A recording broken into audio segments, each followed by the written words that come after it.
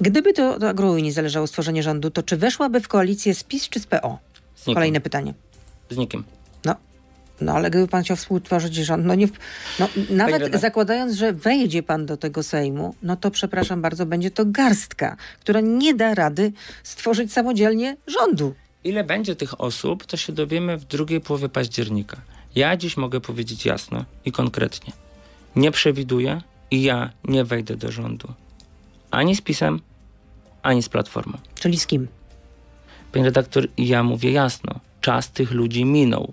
I dziś ale chociażby będzie, jak, pan frekwencja, będzie, jak pan nie będzie w rządzie, to co pan będzie mógł osiągnąć jako poseł?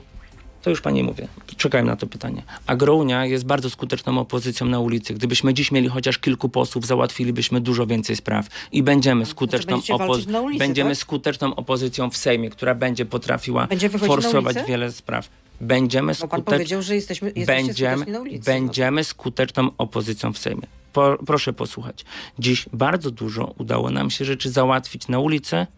Bardzo dużo nam się udało załatwić w rozmowach z tymi, którzy też rządzą, wymagając na nich wiele spraw. To my mówiliśmy, że dla rozumiem, polskich że, rolników że potrzebne jest będzie pan 10 posłem, miliardów. to też będzie pan używał takich metod. Rozumiem, że będzie Będę pan używał wszystkich- dochodził y, y, do różnych spraw y, na ulicę, tak? Będę używał wszystkich możliwych metod, żeby Polacy mogli normalnie dobrze żyć i czuli się w swoim kraju jak gospodarze.